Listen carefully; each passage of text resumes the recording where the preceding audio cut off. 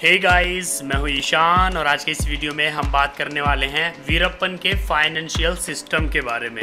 दोस्तों, इस वीडियो को बनाने का कारण ये हुआ कि एक ईशान एलएलबी चैनल का रेगुलर व्यूवर है अतुल घनश्याम।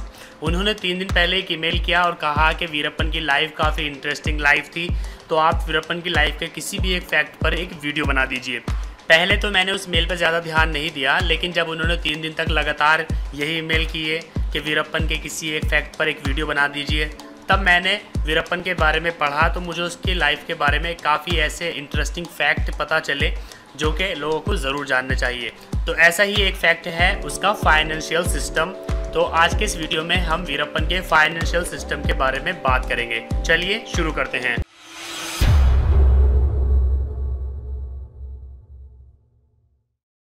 चंदन की तस्करी करने वाले वीरप्पन को एक ऐसे बेरहम अपराधी, बेरहम क्रिमिनल के तौर पर जाना जाता है, जिसके हाथ अपने रास्ते में आने वाले किसी भी शख्स की हत्या पर कांपते नहीं थे। भले ही वो शख्स उसकी अपनी बेटी ही क्यों ना हो। हालाँकि ये बहुत ही कम लोगों को पता होगा कि वीरप्पन बेरहम अपराधी, बेरहम क्रिमिनल होने के साथ साथ ही एक शातिर और इंटेलिजेंट बैंकर भी था। एक ऐसा बैंकर कि जिसने अपने पैसों को ऐसे छिपा कर रखा कि मरने के करीब 17 साल के बाद भी दो राज्यों का विशेष पुलिस दस्ता यानी एसटीएफ आज तक उसको नहीं खोज पाया है। उसे 2004 के अक्टूबर महीने की 18 तारीख को पुलिस के विशेष दस्ते ने मार गिराया था। जानते हैं वीरप्पन के फाइनेंशियल सिस्टम के बारे में।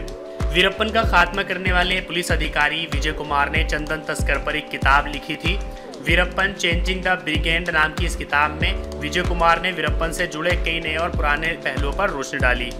इसी में उसके तीस हज़ार करोड़ रुपए के खजाने और उसे छिपाने के तरीकों के बारे में कई लोगों के हवाले से लिखा गया है, जिससे यह ज़ाहिर होता है कि वीरप्पन एक शातिर बैंकर भी था और बैंकिंग करने का उसका अपना खास तरीका भी था।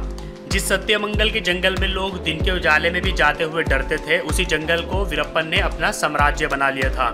उसी जंगल में वीरप्पन की अपनी सर्विस भी चलती थी।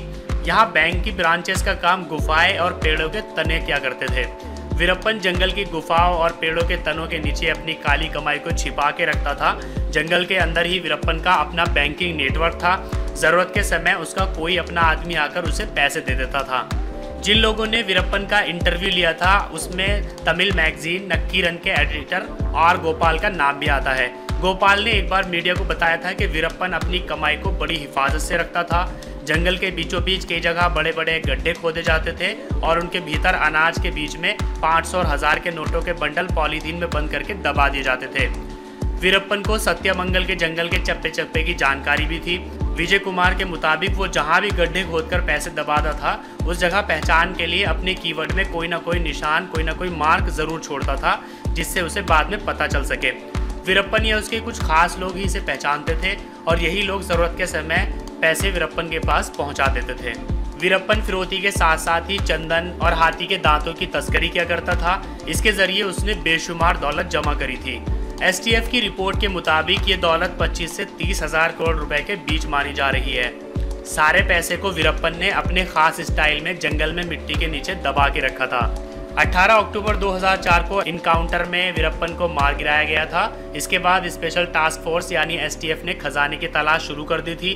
हालाँकि अब तक एसटीएफ के हाथ कुछ भी नहीं लगा। वीरप्पन के सिर पर शुरुआत में 15 लाख रुपए का इनाम था। 2002 में कर्नाटक के तत्कालीन कृषि मंत्री एच नागप्पा की हत्या के बाद वीरप्पन पर यह इनाम बढ़ा के पाँच करोड़ रुपए कर दिया गया था। साल 2000 में वीरप्पन ने कन्नड़ फ़िल्मों के सुपरस्टार राजकुमार को किडनैप कर लिया था और रिहाई के बदले सरकार को 40 करोड़ रुपए की फिरौती देनी पड़ी थी। तो दोस्तों, ये वीरप्पन की लाइफ के कुछ फैक्ट्स हैं। इसके अलावा भी वीरप्पन की लाइफ काफ़ी इंटरेस्टिंग लाइफ थी, काफ़ी फैक्ट्स हैं उसकी लाइफ में जो हमें जानने चाहिए। अगर आपको भी ऐसे कोई फैक्ट पता है तो आप कमेंट करके हमें बता सकते हैं। इसके अलावा अगर आपको वीडियो अच्छा लगा है तो उसको लाइक करिए। और अगर आपने अभी तक हमारे यूट्यूब चैनल को सब्सक्राइब नहीं किया तो मैं आपको सजेस्ट करूँगा कि अभी सबसे पहले हमारे यूट्यूब चैनल को सब्सक्राइब करिए।